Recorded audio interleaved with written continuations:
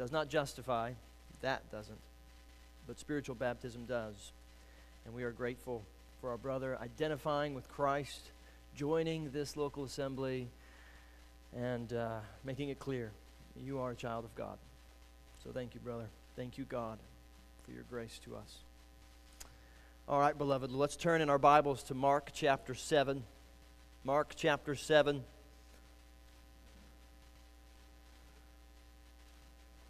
We'll be beginning in verse 24.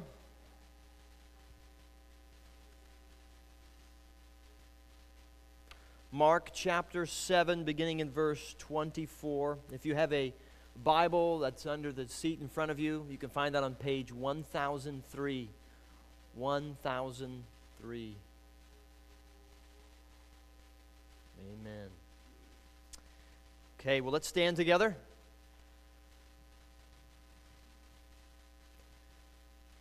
God speaks now. beginning in verse 24.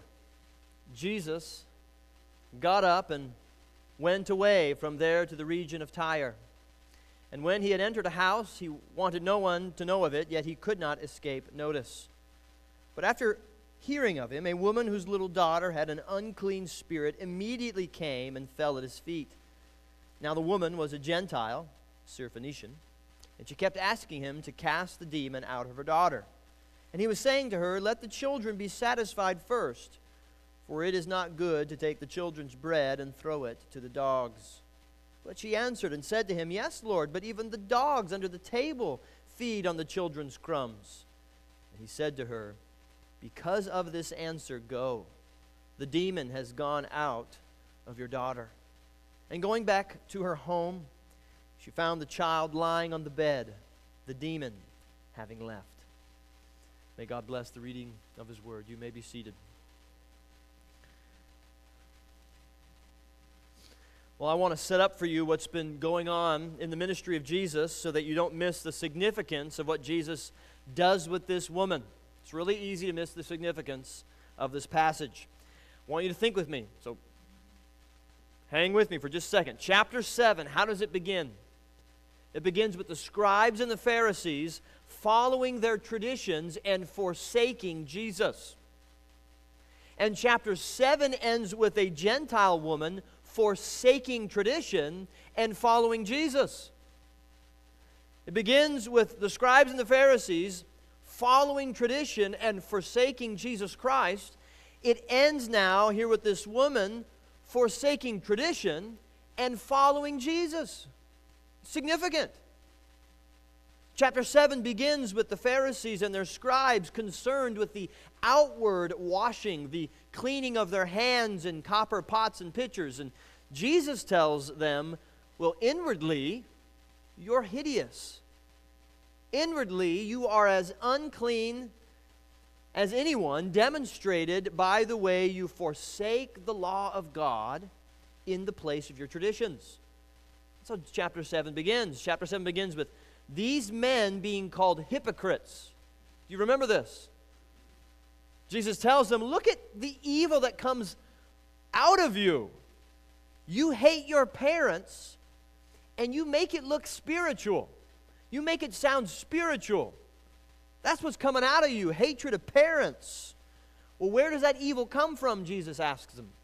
Comes from the heart. Comes from the heart. You think yourself clean, scribes and Pharisees. You think yourself clean, Israel. But you are pretenders with evil hearts. Look out, look, look at what else comes out of you, Jesus says in verses 21 through 23. If you doubt, if, if hating your parents wasn't enough, we'll look at 21 through 23 of chapter 7, right? Evil thoughts come out of you, fornications come out of you, thefts, murders, adulteries, deeds of coveting, wickedness comes out of you deceit, sensuality, envy, slander, pride, and foolishness. All these evil things proceed from within and come out and defile you. And so, to the men, at the beginning of the chapter, Jesus says, You think yourselves clean, but you're only pretending. Your heart is the problem. And what comes out of you reveals that you are, at your very core, actually the opposite of clean. But at the end of chapter 7, we find a very different story. A Gentile woman who is unclean on the outside with a daughter who has a what? Unclean spirit. That, that word there is intentional. Everything about this situation on the outside looks what? Unclean. This woman, everything on the outside looking unclean, what comes out of her? We've seen what comes out of the Pharisees. What comes out of her? Great faith, desperate dependence on Christ, contrite confession of unworthiness, unshakable belief that this Jesus can deliver. Do you see what is coming out of the Pharisees and the scribes? Do you see what is coming out of her? What comes out of this woman? Righteousness. She is the one clean. This whole chapter is about what does it mean to be clean. The beginning gives you a negative example. The end provides you with, but here's a positive example. Here is what it looks like to be clean. Here is a woman who has, an, uh, who has a clean heart, while the Pharisees, who think themselves clean, are not. All right? What does it mean to be pure and blameless in the sight of God? What does it mean to be clean? Mark has been begging you to ask that question throughout this chapter, and Jesus answers it for you right now. What does it mean to be clean? Well, it means your heart must be made new. Your heart must be made clean. You must be born again. And then from within you, at your very core, clean things can then become, clean things can then begin to come out. So you cannot scrub yourself clean. You cannot clean yourself up within. Who you are at your very core must be made new. And praise God, Jesus is the one who can cleanse you. That's the good news. That's what this chapter is about. Here's what it means to be clean. To demonstrate what it means to be clean, Mark holds up to you, Jesus holds up to you, look at this woman. Look at what God has done in this woman who was unclean but is now clean. Mark holds up this unworthy Canaanite woman to tell you the answer to the question what does it mean to be right with God? What does it mean to be pure and blameless in His sight? Well, in this woman, you're given three characteristics of a heart made clean. Three characteristics of a heart made clean. Number one, this woman has a hopeful hearing. A hopeful hearing. I want you to look again at Mark chapter 7. Look at verses 24 and 25. Jesus got up, he went away from there to the region of Tyre. And when he had entered a house, he wanted no one to know of it, yet he could not escape notice. But after, what word? Hearing of him, a woman whose little daughter had an unclean spirit immediately came and fell at his feet. Now, as far as we can tell, Jesus has now left Gennesaret. You'll notice at the beginning of the chapter, he's at Gennesaret. As far as we know, he hasn't left there yet. So he leaves Gennesaret and he goes to the region of Tyre. And if you look on a map, I don't have, a, I don't have one for you, but it's, it's, it's northwest of the Sea of Galilee. So Jesus was, has traveled some distance with his disciples, and Tyre is Gentile country. This is Gentile land. So perhaps the thought is, perhaps, Mark says, there might get some rest. There'll be a bit of rest for Jesus and his disciples. And yet, what happens? Does he achieve that, uh, that vacation? Of course not. What happened the last time Jesus left uh, Israelite land and went to Gentile country? Do you remember what happened last time Jesus left and went into Gentile land? He'd barely set foot on the land, and someone comes up to him with a legion of demons. Remember that? It's Mark chapter 5. The Gadarene demoniac, the Gadarene demoniac happened. Mark chapter 5, Jesus steps out of the boat, and immediately, the text says, immediately the Gadarene with the legion of demons comes up to him and falls at his feet. Does that sound familiar in Mark 7? This woman, hearing, comes and immediately came and fell at his feet. Seems like some bookends to me. This man cries out, What have you to do with us, Jesus? And Jesus, by the end, delivers that man in Mark chapter 5 from the unclean spirits. Jesus sets him free.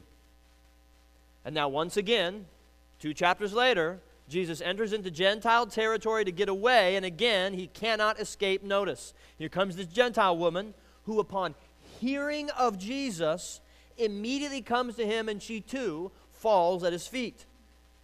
Gentile cleansed in Mark 5, Gentile cleansed at the end of Mark 7, and in between, we're thinking about what does it mean to be clean?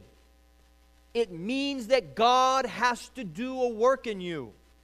He has to. Otherwise, you are corrupt. Now, I don't want you to miss this. This woman hears. This woman hears of Jesus Christ and she flies to him in hope. She hears of Jesus, probably has heard all that he's been doing in the regions. Perhaps she's heard of the 5,000 being fed. We don't know. But she's heard of Jesus, what he's done, and in great hope, she falls down before him and asks that he would deliver her daughter from a demon. That word hearing is so very intentional and important. What has Jesus just said to the scribes and the Pharisees and even to his own disciples about hearing? I want you to look with me. Look at verse 16 of chapter 7. It's just a few verses before this. What does verse 16 say? If anyone has ears to what? Hear. Let him hear. And now this woman is hearing. Look at the verses prior to that. Look at verse 14. Jesus says to them, Listen to me, all of you, and understand. Listen, understand, hear me, Jesus says. And yet these Jews, they hear, and yet they do not understand. They do not listen. And yet now here is this Gentile woman at the end of the chapter hearing of Jesus Christ, and she does understand. She does understand. How is that possible? It's supposed to grab your attention. You're supposed to have read this in one sitting and go, oh, nobody's, everyone's hearing, but they're not really hearing. Everyone's listening, but they're not really listening. No one's understanding. All in Israel, even his own disciples, they don't get it. There's a Gentile woman, she hears, and she immediately flies to Jesus. She gets it. How's that possible? It's supposed to grab your attention. Well, think about the purpose of the parables. What was the purpose of the parables? Was the purpose of the parables to give greater, shine greater light for all people? Was it, was it, was it supposed to be this picture where, like, oh, it will help people understand the sayings, the, the, uh, the truths that Jesus is communicating? Is that the purpose of the parables? Not according to Jesus. The guy that's telling the parables, the God man who's telling the parables, says that's not the point of the parables. The point of the parables is judgment. The parables are a form of judgment against those with hard and evil hearts who do not want the truth. You're going to get the truth in parables and you're going to forsake it because you don't get it. But for those in the kingdom, you will get it. And I'll even explain it to you, Jesus says. For those outside the kingdom, they will physically hear the parables, and yet they will not spiritually be able to hear and understand them because they're under judgment. If you have forgotten that already, go to Mark chapter 4 later on today, reread that section. We've read it twice now. It's very clear that's the purpose of the parables judgment.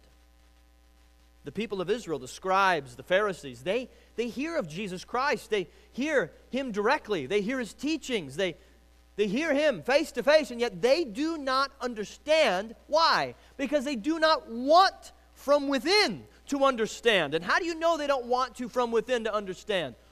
What's coming out of them?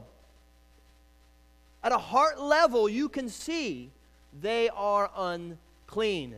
They are under judgment. They hear, and yet they reject the truth because of their unclean hearts within.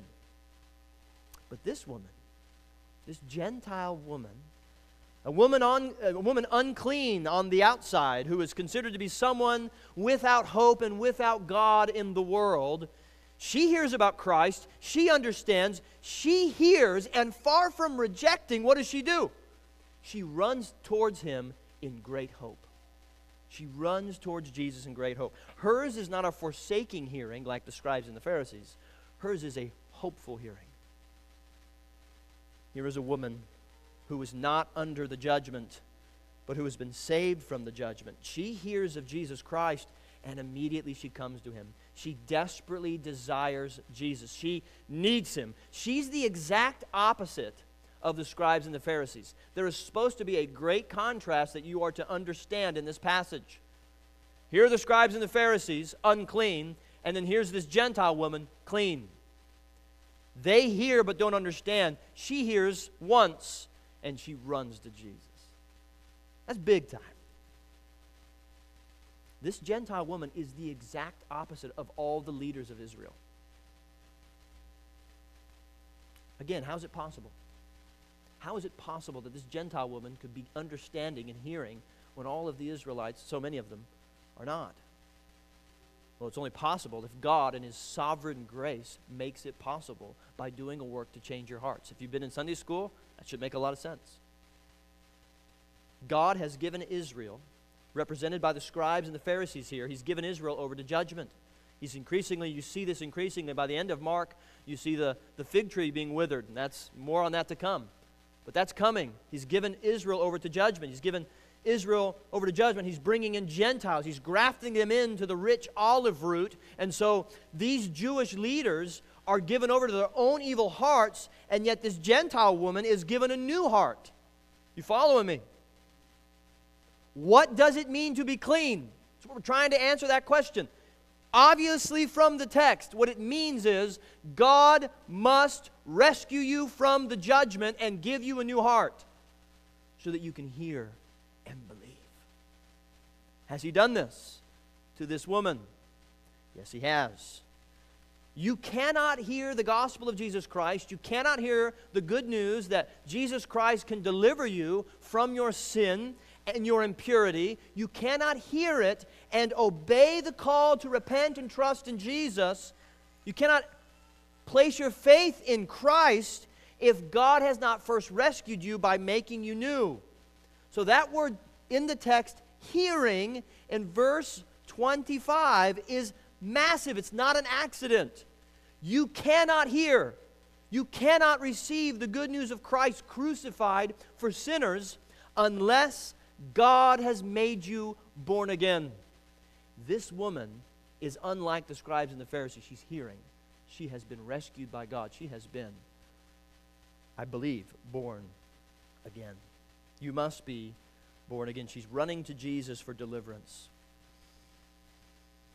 So, are you this morning hearing the news that Jesus died on the cross?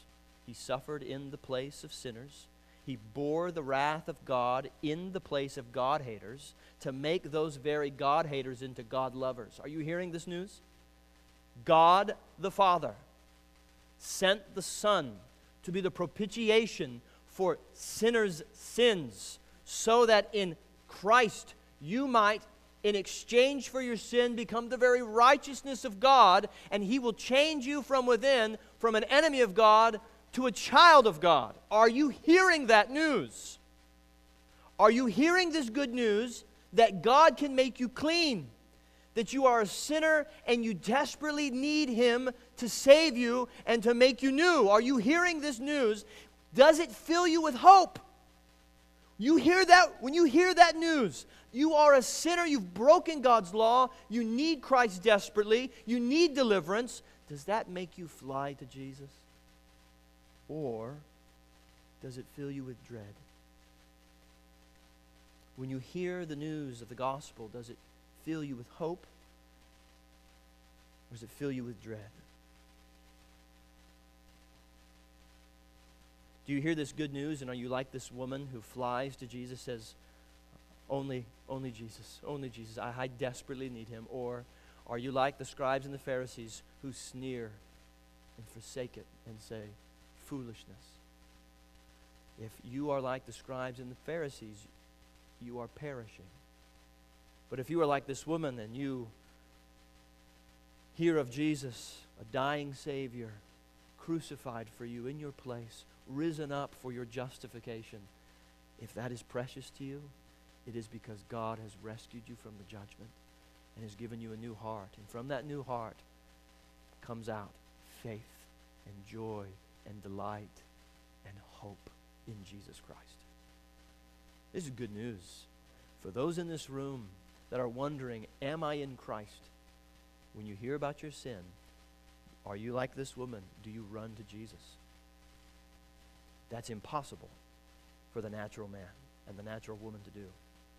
But if you are running to Jesus, it's because he's done a supernatural miracle in you. This woman has heard of Christ, and she has hopeful hearing. So, does what you are hearing about Jesus fill you with hope? Then I would invite you this morning. Perhaps for the first time, you are hearing the news that Christ died for me. He died for me. I invite you, hear that word and respond. Come to the waters, whoever is thirsty. Drink from the fountain that never runs dry. Jesus, the living one, offers you mercy, life more abundant and boundless supply. Come to the well of unmerited favor. Stretch out your hand, fill your cup to the brim. Jesus is such a compassionate Savior. Draw from the grace that flows freely from Him. Come, hear and believe, and as you come, recognize it is because God has made you new. I just urge you, please, this morning, trust Christ. If you are four years old, trust Christ. If you are 10, trust Christ. If you're a first grader, trust Christ. He will in no way cast you out. And if you come to Him, it is because Christ has purchased your salvation at the cross. So, again, rejection comes out of the hearts that are unclean of the scribes and the Pharisees. Hope and desperation comes out of the heart of the woman made clean, the Gentile woman. You see the contrast. And that's the second characteristic of a heart made new. Not only do you hear, you have the capacity, your total depravity has been conquered, and now you no longer are totally unable. You hear the good news of Christ and you run towards Christ that's characteristic number one. But now there's also a deep desperation. I need him. That's why I'm running towards Christ. I'm falling at his feet. There's a deep desperation and dependence on Jesus. Look at verse 26. Now the woman was a Gentile, a Syrophoenician, and she kept asking him to cast the demon out of her daughter. And he was saying to her, Let the children be satisfied first, for it's not good to take the children's bread and throw it to the dogs. Mark makes sure you understand that this woman is a Gentile. He doesn't mince words here, does he? This is one of those really hard sayings of Jesus. Mark makes sure that you know this is a Syrophoenician woman. She comes from Canaanite land. She's not of ethnic Israel. In fact, she's an enemy of Israel. She's not an ethnic Jew.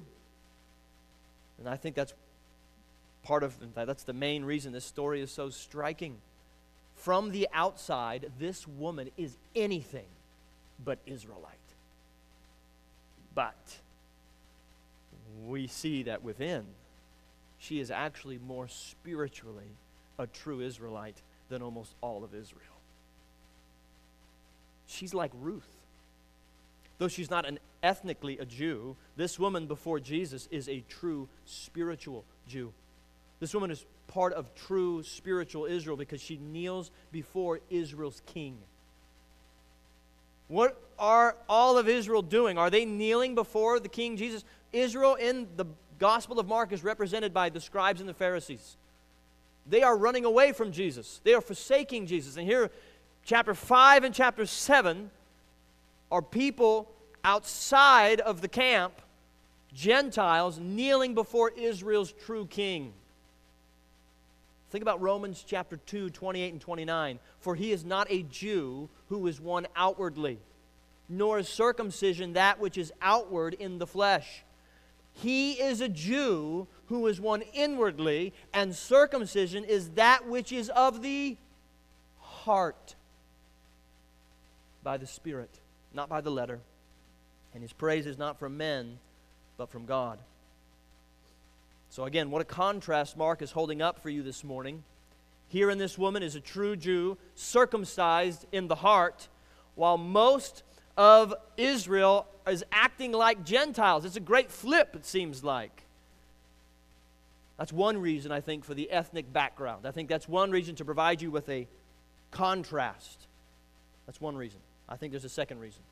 The second reason I think that Mark gives you uh, very clear details about this woman. She's a Gentile. Why did he just, why didn't he just stop there? She's, she's a Gentile.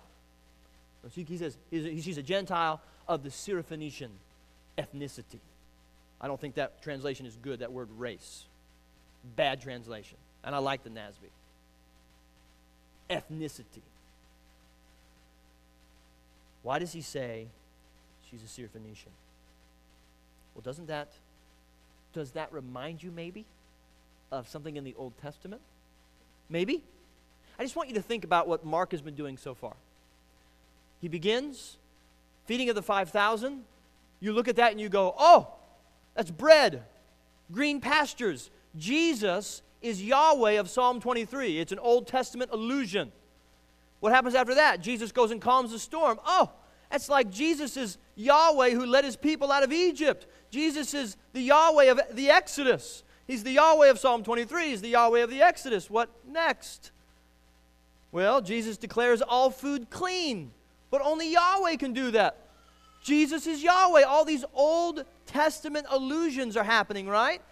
And then he says this thing about Syrophoenician women. Could that be an Old Testament allusion? I think it could be. Actually, I don't think it could be. It is. Think about Jesus, he's Yahweh, is Yahweh, is Yahweh. All these Old Testament allusions. Think about 1 Kings chapter 17. You could write that down. You could even go there if you want. We're not going to read from there, but if you want to just familiarize yourself, 1 Kings chapter 17. Do you know what happens in 1 Kings 17? Elijah comes to a woman who is a widow. What kind of woman is she? Do you remember? It says in 1 Kings 17, a Syrophoenician woman. She's in desperate need, and Elijah feeds her what? What does he feed her? Remember? She ain't got, any, she ain't got anything in the, she doesn't have any oil in the jar, so he, he blesses the jar. What happens? The jar fills up, and they eat what together?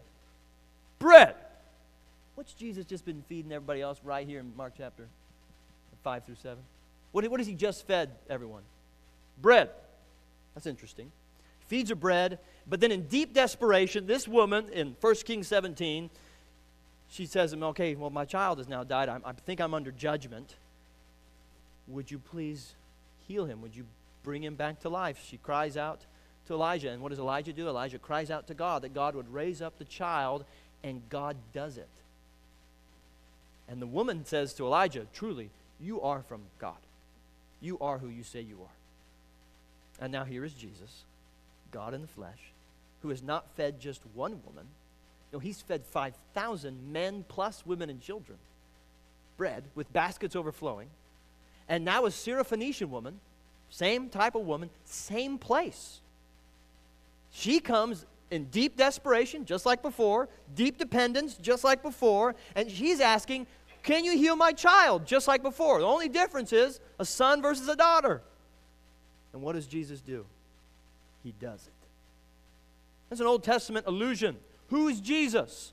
He's Yahweh of the Psalm 23. He's Yahweh of Exodus. He's Yahweh of the Pentateuch. You know who else Jesus is? He's greater than Elijah.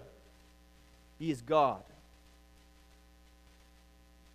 Here is a woman who was in the eyes of the Pharisees ethnically, outwardly unclean, but inwardly cleansed by the grace of God. And here is Jesus the cleanser, the one greater than Elijah.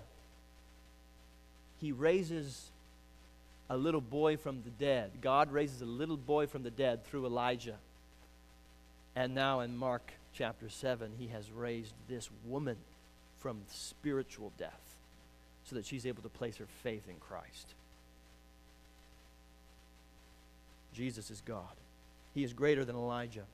And this woman in Mark chapter 7 is desperate for him. I want you to pay careful attention to the way Mark describes this woman. This is sweet. She kept asking Jesus to cast the demon out of her daughter. She kept asking. She kept asking. Now, if you were to go to Matthew chapter 15, that's Matthew's parallel account. You don't need to go there, I'll tell you about it, but write it down. In Matthew 15 is the parallel account of this same moment. And he gives a little bit more detail than Mark does. Matthew 15 gives us a clue as to what she was actually saying to Jesus as she keeps asking him. Matthew 15, the woman came out and began to cry out, saying, Have mercy on me, Lord, son of David. That's what she says. When, it, when Mark 7, verse, uh, verse 26 says she kept asking, Matthew 15 fills in the gaps. Have mercy on me, Lord, son of David. Have mercy. Have mercy. You know what that sounds like? Sounds just like the tax collector we talked about last week. Remember the tax collector who went home justified in Luke 18? Right? He couldn't even look up to heaven, but he beat his breast and he cried out, God, be merciful to me, a sinner. So to this woman, be merciful, God. Please, I need your mercy. What does it mean to be clean? What does it mean to be clean? It means to be desperately dependent for Jesus and desperately dependent upon Jesus' mercy.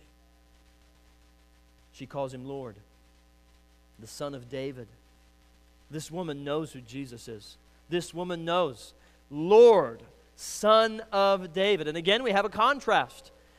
Mark 7, there are ethnic Israelites, the scribes and the Pharisees, who will not humble themselves and declare Jesus to be who he really is. They forsake Jesus, they forsake God, and Jesus is telling them, You're not clean. But in contrast, here is this woman who declares Jesus to be exactly who he is. You are the Lord. You are the Messiah. You are the Son of David, the Lord. She agrees with Mark 1 1. Jesus is who he says he is. She knows and she submits. She is kneeling at his feet while the Pharisees are sneering and walking away. She is desperate for him while the Pharisees are fools. She's clean while they are not. Matthew tells us more in Matthew 15 in his parallel account. He, he writes, Christ's disciples. So, this, this woman is crying out, Have mercy, have mercy, please, I need your mercy. And his disciples, his disciples come up to him and implore Jesus, Please send her away. Because she keeps shouting at us. she keeps shouting. His disciples are even like, Please do something. Please have mercy. I think it's funny. I think, uh, best I can tell, in Matthew 15, the disciples are saying, She's crying out for mercy, and now please have mercy on us because of her. Even the disciples are amazed and they're distressed by this woman's desperation. And what does Jesus answer? Well, Jesus answered in Matthew 15, I was sent only to the lost sheep of the house of Israel. But the woman came and began to bow down before him, saying, Lord, please. She keeps asking. Do you see her great need and desperation for Jesus? This is very much like Jacob in the Old Testament wrestling with God. I will not let go unless you bless me. That's how bad I need you. Where else am I going to go if not you? You alone have the words of life. If I don't have your mercy, I don't have anything. That's what it means to be clean, beloved to be desperate for Jesus, to depend upon Him wholly. That's called faith. You want an illustration of what it means to have faith in Jesus? Here's one belief, resting, trusting, clinging to the Savior, clinging to the deliverer, clinging to the cleanser. I cling to Christ. You know that hymn that we sing? I cling to Christ. That is faith. That is what is going on here in this woman. That's what it means to be clean. So, are, again, are you this morning clean? I need you to check your heart. What comes out of it? Sometimes you wonder, do I have a clean heart? Well, what's coming out? Do you find yourself astoundingly dependent on Jesus Christ? When you think of your sin, perhaps you see some of the things that come out and you go, Oh, Lord, why? Make me clean. Do you, do you find yourself amazed and desperate and dependent on Jesus? Is He your hope and your stay? Is that coming out right after sin? That can only come out if there's been a clean heart worked within. Are you desperate for Jesus? Where do you run to when sin is made known to you? What happens in your heart as you consider your sin and your need? Do you turn inwardly and try to fix it yourself like these scribes and Pharisees? Do you sneer at the idea that you, that you need a, a power outside of yourself to save you? You can be like the Pharisees, and they're fools because they have a foolish heart. Or, again, in desperation, do you look to Jesus? Confess your sins to Him who alone can cleanse you. If that's you, that's the reflex of a new heart. That's the reflex of this woman who is desperate for Jesus, whom Jesus is going to later on say, Great is your faith. Great is the work that God has worked in you. It's very clear this morning. The heart made clean says with Spurgeon, oh, and this is a great quote. Spurgeon says it, not me. I have a great need for Christ, and I have a great Christ for my need. I have a great need for Christ, and I have a great Christ for my need. And I will never, ever, ever outgrow my need for that Christ. You got that? That's the sermon summarized in one sentence, stolen from Spurgeon. Not stolen. Deep desperation, deep dependence. That is what it means, in part, to have a heart made new. And yet, how does Jesus respond to her? This is what's really striking. Verse 27 of Mark 7. And Jesus said to her, Let the children be satisfied first for it's not good to take the children's bread and throw it to the dogs. Friends, you're not going to find that on a Hobby Lobby mug.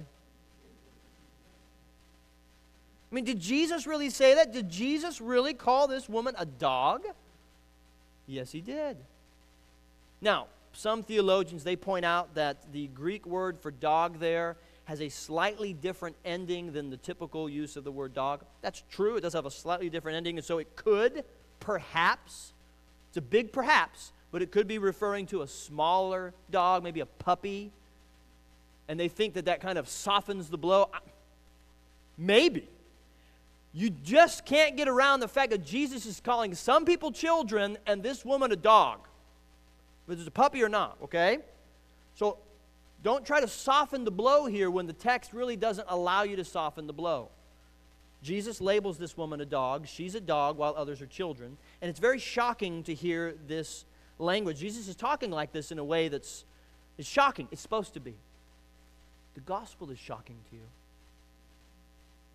The fact that you need a Savior should be shocking at first. Throughout the Bible, each time the word dog is used, it's never used in a nice way. The whole Bible.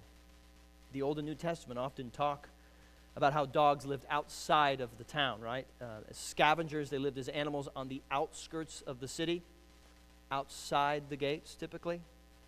In 2 Kings, when Jezebel is thrown down, remember, remember that in 2 Kings? Evil Jezebel, she's thrown down and she dies as she hits the ground, and the dogs come up and lick her, lick her blood off the streets.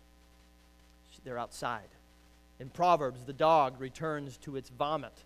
Paul says in Philippians chapter 3 Beware of the dogs, the workers of evil. False teachers are dogs. Why are they dogs? Because they're outside the kingdom.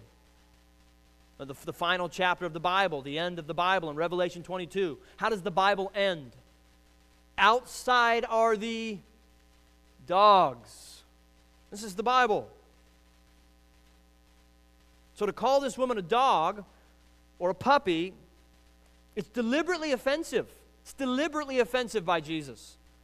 I had a friend in Morocco, not more of an more of an acquaintance, and we tried to communicate to him. He was with a different missions organization, and he was so concerned about not being offensive. He would look at me and say, You're going out to Muslims in Morocco and telling them they need a Savior because they're sinners. That's offensive, Grant.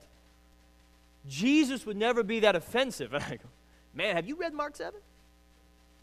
I mean, it's all over. Jesus is intentionally offensive. Why? Is this ethnic prejudice? Is this sinful partiality that Jesus is exhibiting here? Absolutely not. What is it then? Well, let me tell you what it is. It's Jesus explaining the kingdom.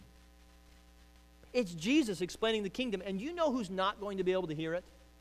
Those on the outside of the kingdom, those on the outside. But those who are in the kingdom, they can hear it and accept it because they're members of the kingdom. That out and in language is very intentional. To be a member of the kingdom is to accept that you are a Romans 3:23 dog. You are a sinner, you are an offender, you have broken God's law, you have sinned against him, and you don't deserve anything but damnation. And if that news is offensive to you, if the truth about your sin makes you stumble, then the cross is going to be foolish to you. What are you saying? I'm better than a lot of people. Well, then being called a dog is going to be very offensive to you. But if the truth about your failures and shortcomings, if the truth about how you deserve the white hot wrath of God, if, if the truth that you are but a dog, undeserving of any favor from God, if that humbles you, and it turns you to Christ, well, the cross becomes anything but foolish to you, does it not? The cross, a dying Savior, dying in your place, that news becomes the most precious thing in the world to you because yours is a heart made clean. That's what's going on here. Does this woman understand the depth of her need? Well, here's Jesus revealing that. You understand the depth of your need? You're a dog. Will Jesus to this woman be a stone of stumbling and a rock of offense? Peter tells us Jesus was a stone of stumbling and a rock of offense to the Israelites, those who thought they were in. But to this woman who they think is out, she's actually the one in because she is a member of the kingdom and she can hear it and accept it. And from that hearing, God bears a hundredfold. I hope you see all the things in Mark tying together there. Will she confess her sins all the more and be a recipient of God's mercy? She's crying out, Mercy, mercy, mercy. Here is Jesus revealing this woman's heart. And here is this woman's heart on full display. Here is a heart made clean. Clean. Here is a woman who is part of the kingdom of God. So think about it. The, the children at the table, they are actually the people of Israel in the illustration that Jesus sets up here. And the dogs, those outside of Israel, they are the Gentiles. And Jesus' ministry was, in fact, to the Jews first. That's very clear through the Gospels. He's going to the people of Israel first. And even into the book of Acts, the people of Israel first, then the Samaritans, and then the Gentiles. That's the order of things. Paul says the same thing in uh, Romans chapter 1, verse 16. I am not ashamed of the gospel to the Jew first, then also to the Greek. It's all, that's all clear. What Jesus is saying is not wrong here, that is exactly right. Jesus is telling this woman, You aren't an ethnic Israelite. You don't get first dibs. You don't deserve first dibs. You're a dog, someone that's outside the camp. And what does this woman say in response? Verse 28 You're right. Yes, Lord, you're right.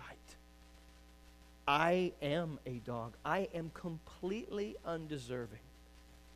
But even dogs Even dogs get the scraps from time to time. Even the dogs under the table feed on that which the children are careless with. Even the dogs outside the city of Jerusalem feed on those things that the Israelites count as rubbish. Are you hearing that? I'm going to say that again. A whole bunch of people weren't looking at me. The dogs get the rubbish. What are the people of Israel counting as rubbish in chapter 7? Jesus. He's rubbish. I'll take him. So here is a woman who is a dog, who understands better than the children. This story should be a gut punch more to the Pharisees than to anybody else. The dogs know better than the children know. How wretched then must the children be? How wretched their hearts must be if what comes out of them is more foolish than the foolishness of a dog. You get this? They will be cut off the olive branch for their unbelief, and those outside will be grafted in. Romans 11 tells us these things. Israel is continuing to reject Christ, reject the good news. But what are the dogs? What are the Gentiles? What are the sinners? What are the tax collectors doing throughout Mark? They're coming to Christ. Just think about the way Mark has laid itself out. The people of Israel continuing to reject, continuing to sneer at Christ, represented by the scribes and the Pharisees. They're rejecting. But throughout Mark, what are we seeing? What are the Gentiles? What are the tax collectors? What are the great sinners doing? Those that are supposed to be outside the kingdom, they're coming to the king. They are in. Do you know what it means to be in the kingdom? It's radically different than the self righteous Pharisees think. If you think this morning that you can somehow earn your way, you can be clean enough on the outside to be a member of God's kingdom, stop your stupidity. You are foolish. God says so. Right now, this morning, humble yourself. Call yourself a dog that is guilty of Romans 3:23 you have fallen short of his glory you've transgressed his law but there is mercy in Jesus for a sinner like you there is more mercy in him than sin in you so brothers and sisters to be a member of the kingdom is to contritely confess that you are unworthy to be a member of the kingdom is to agree with God that you are a lawbreaker you deserve nothing but hell and that only in Christ is there deliverance. That's the final characteristic of what it means to be clean, contrite, and confident confession. Yes, Lord, she says, verse 28, but even the dogs under the table feed on the children's crumbs. So we're getting close to the end here. Just a few more things to say. Here is a woman who's heard of Jesus. She's believed on Jesus. She's ran to Christ. She's not going to go anywhere else but to Jesus for her need. Here is a woman who's been set free. Here is a woman who's been made clean. She hears the word of Jesus. She, she, she, she hears about Jesus. She hears that she's a dog, and rather than respond in anger, rather than snap at Jesus and say, How dare you? How could you say such a thing to me? No, rather than that, she simply agrees with him. Yes, Lord, I agree with your assessment. I deserve nothing. But just think about what she's saying. But the storehouses of your mercy, God, are so great. The potency, I love this, the potency of your bread is so great that if just a single crumb were to fall, that would be enough. That would be enough for me. It would be better. A, a, a crumb, a scrap from your table, Jesus, would be better than anything else in the world. Well, that's the reality of a person being made new.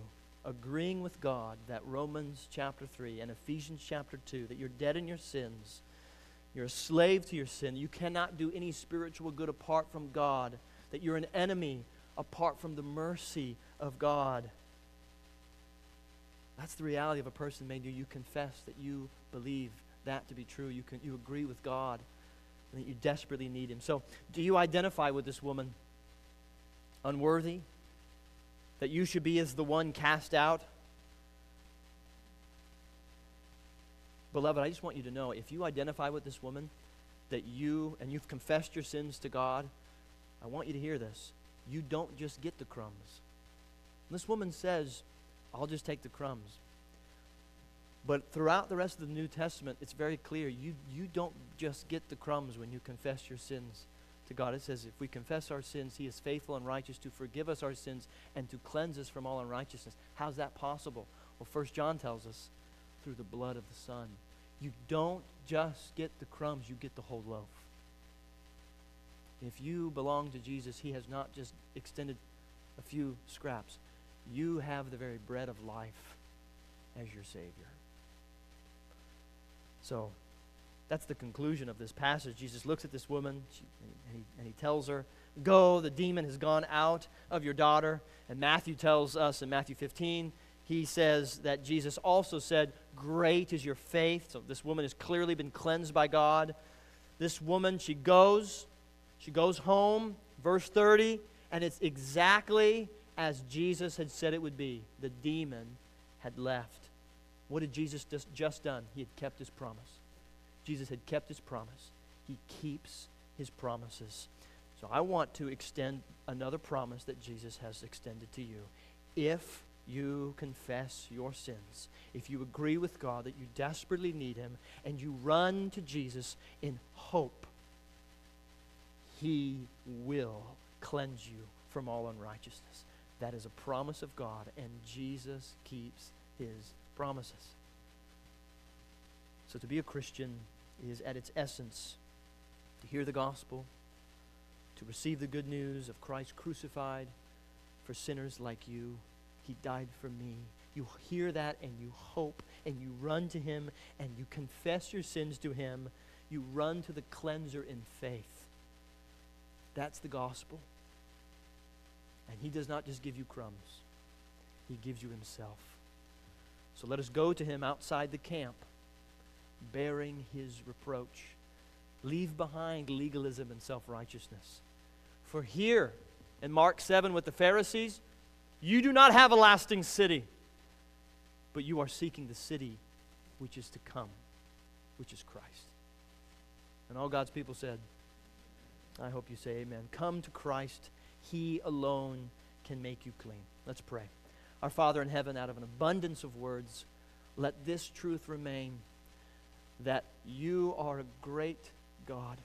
You are full of kindness and mercy.